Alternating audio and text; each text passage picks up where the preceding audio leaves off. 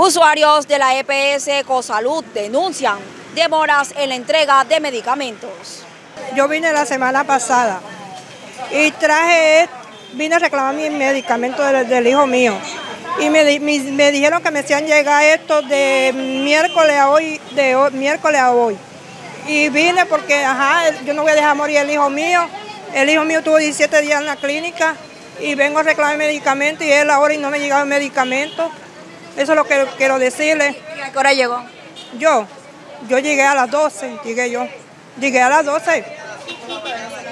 A las 12 no, yo llegué como a las 10, llegué yo. y ya, y ya se quedó por fuera. Ya me quedé por fuera, estoy aquí afuera. Ah, porque esto es de la, semana pasada. Me dijo, yo era para que estuviera allá adentro, para que me dieran, porque es de la semana pasada. Y yo era para que estuviera adentro y me dieran mi, medicamento.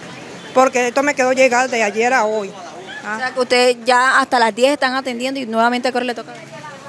Sí, hasta las 10 reparten los fichos. hasta las 10 reparten los fichos. Y ellos me dan más fichos. Y entonces, ¿cómo voy a hacer yo si esto me quedó llegar de ayer? Pues ayer, me quedó llegar de ayer a hoy, me quedó llegar esto. Ah, esto está muy malo, este, este servicio está muy malo de, de con salud. Yo hoy, como acudiente de mi madre, vengo a buscar medicamentos y tengo casi una semana de estar esperando medicamentos del mes pasado y no es justo que aún nosotros como profesionales veamos esta problemática desde este punto de vista. Es un llamado para que las autoridades, Supersalud, tomen caso del tema porque de verdad es necesario que podamos eh, solucionar esto. Hay muchas personas que tienen enfermedades crónicas, enfermedades que necesitan de un tratamiento oportuno y necesitan ser tratadas ya y no han sido tratadas. Pongámonos a pensar, de pronto mi mamá sí necesita el medicamento y hemos esperado incluso tres meses, pero hay personas que todavía no han tenido esa oportunidad de poder ser escuchadas, de poder entregar esos medicamentos. Entonces, sí es un llamado de atención a la Secretaría, a Supersalud, para que puedan responder a esta problemática. Los fichos, según lo que me acabaron de decir, los entregan a la una y media de la tarde nuevamente y nosotros llegamos ya hace un rato y estamos haciendo una fila aquí para esperar a que nos puedan entregar un nuevo ficho. Y antes, en la, en la anterior droguería en Creo que el servicio era mucho mejor prestado, entregaban fichos a toda hora y el servicio era corrido. Sí, estoy aquí desde las ocho y media de la mañana. Supuestamente, según ellos, quedé sin ficho y tengo que esperar hasta las 2 de la tarde. Tengo una discapacidad de epilepsia, artrosis en los huesos y agudeza visual. Entonces tengo que esperar hasta las 2 de la tarde. No me quieren atender. Según ellos, tengo que esperar hasta la próxima llegada de los fichos, que son a las 2 de la tarde. Entonces es posible que esté aquí sin desayuno, sin almuerzo, hasta que ellos se les dé la gana. Lo mismo en Cosalud, no me quieren autorizar ni para, ni para el especialista que es que me mandaron reumatólogo ni para el, la oftalmología que me tienen que operar de urgencia a la vista. Contó con la suerte de que un usuario también se cansó de esperar y le, le cedió el ficho. ¿Cuál turno le tocó y qué le dijeron? Un anciano se cansó de tanto esperar y me regaló el ficho número 99.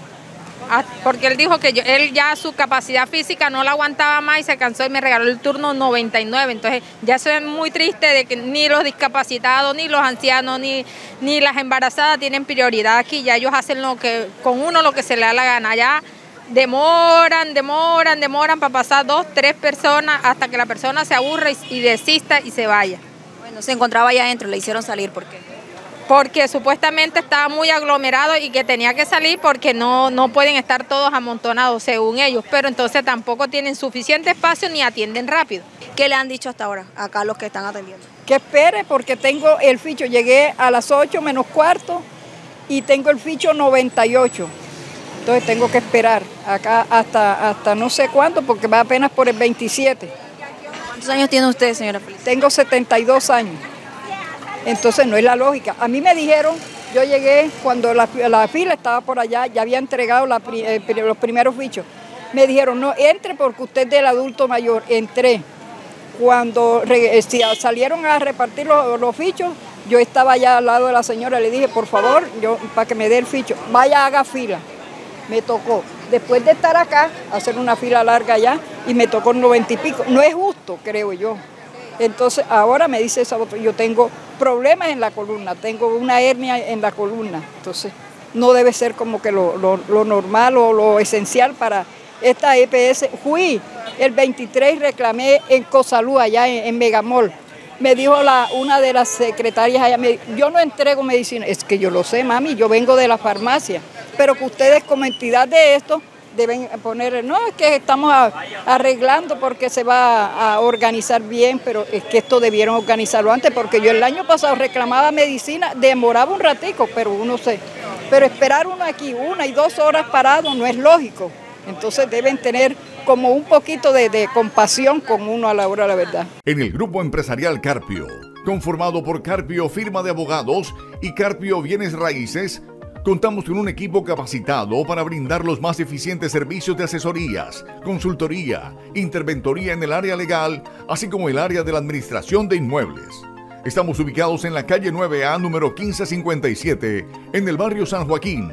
Contáctanos al 316-666-1017.